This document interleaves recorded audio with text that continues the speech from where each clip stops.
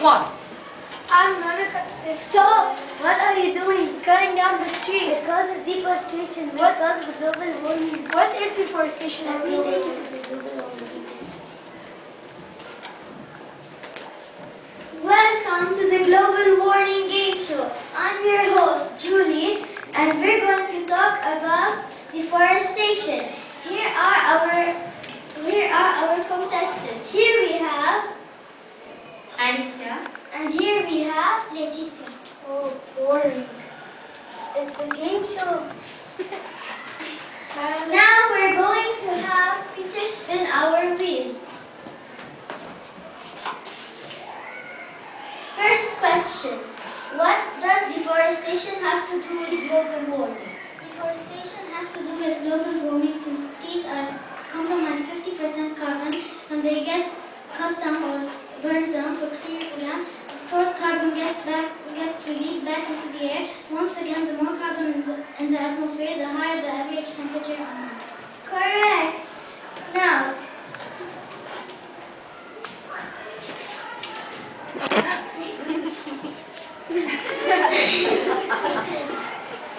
how much did the temperature increase over the last 100 years? The temperature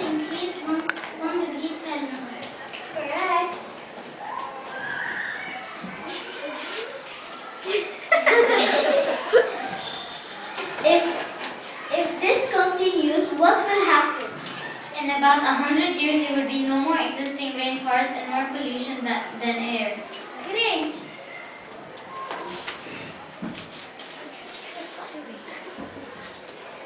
What can we do to stop deforestation?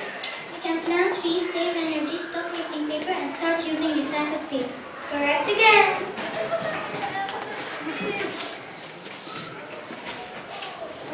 What is deforestation? Deforestation is to cut down trees, uh, uh, to cut down trees for selfish reasons, to expand to expand cities and take their places to build new houses. Great.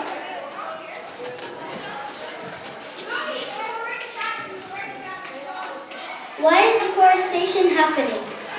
Deforestation is happening for people's selfish reasons, like to make us rich and for natural resources. Correct again.